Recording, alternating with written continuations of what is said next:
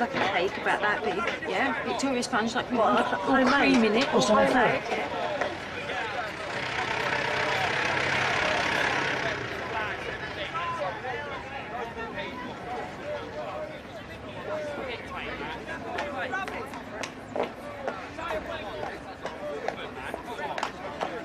Well, I ain't placing any bets on us winning Walford in Bloom anymore.